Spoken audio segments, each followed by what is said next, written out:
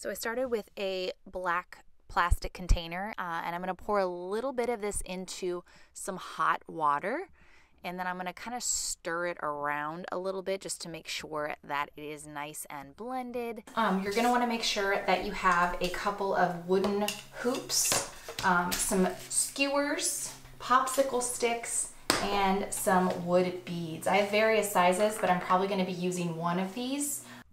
So now I'm going to be taking all of my wood pieces and I'm going to be dipping them into the dye and kind of making sure that they're fully coated.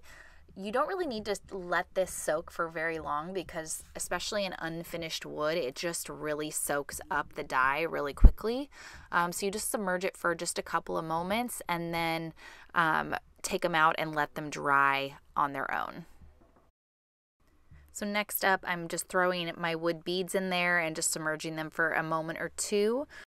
Last on my list was to submerge my popsicle sticks and the skewers for this project to make sure that everything was cohesive, everything was the same color. Um, like the wood beads and um, everything else in this project, these do not take a long time to really absorb the color.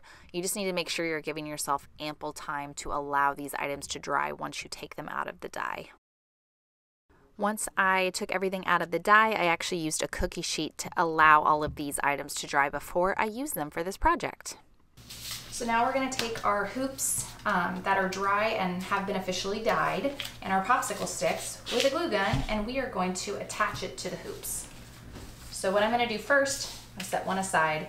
Um, we're going to start by adding a drop of glue to the inside of the hoop and then we're going to attach the popsicle stick. These glue sticks are, I think, a one minute set time, so just make sure that it's pretty secure before you move on to the next one.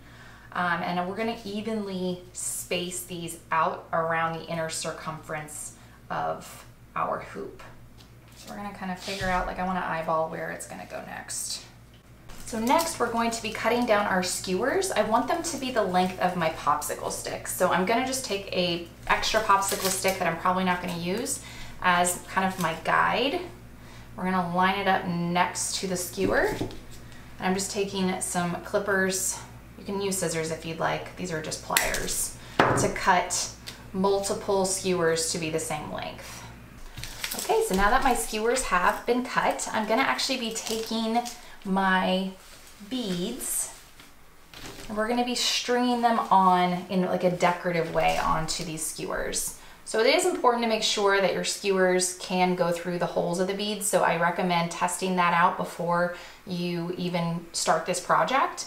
Um, so we're gonna take a little bit of hot glue and we're gonna put it on the tip of the bead and then we're gonna slide it through um, and add like some decoration and make them all a little bit different.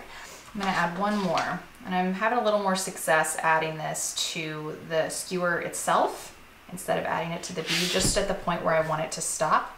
So we've got one and we're gonna keep doing these. So now my beads have been strung onto my skewers. So we are going to focus on attaching these to here. But first, I'm gonna go ahead and finish this step because I feel like it's gonna be a little more secure to attach our skewers once this part has been uh, secured. So what I'm gonna do is I'm going to do a little piece of, I'm gonna do a little bit of hot glue on these pieces just to get us started. I'm gonna make sure these are all on the inside. And these little popsicle sticks are very pliable, so um, it's pretty easy to, essentially when you go to glue them, to just push it back a little bit to add the little dollop of hot glue.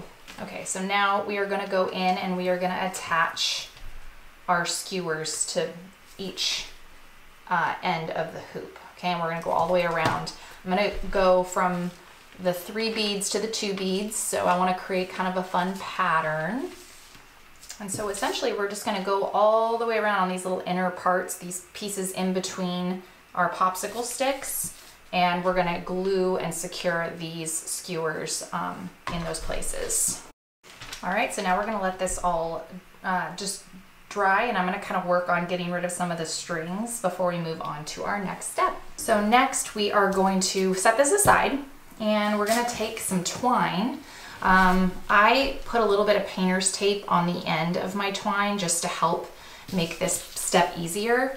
But essentially I want to kind of measure out how, um, how long I want my twine to be. So I kind of want it to dangle down a little bit. So I'm going to cut it here.